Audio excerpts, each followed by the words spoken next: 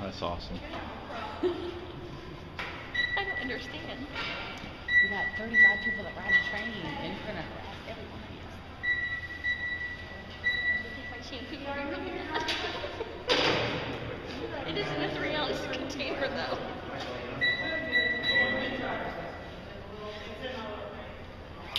So funny.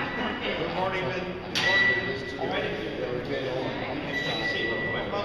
You guys came off the train, right?